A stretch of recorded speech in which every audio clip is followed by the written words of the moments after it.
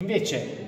tutti i lavori ultimati, abbiamo scritto una, una data di ipotesi dal 2026, quindi dirà che a fronte dell'entrata in funzione anche del portale 5 verrà ripristinata e eh, adeguato l'utilizzo della complanare a doppio senso di circolazione.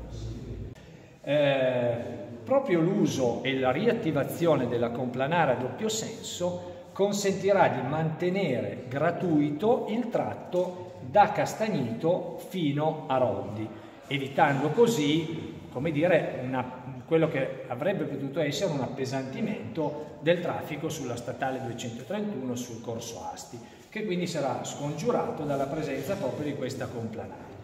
Pertanto, ehm,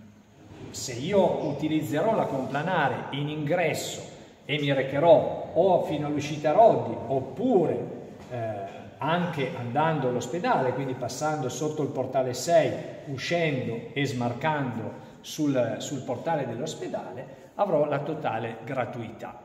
Così anche in direzione opposta, quindi da eh, Rodi Castagnito o dall'ospedale, recandomi verso Baraccone, dovrò utilizzare la complanare per eh, uscire se utilizzo l'autostrada pagherò soltanto il tratto eh, che andrò a, a percorrere di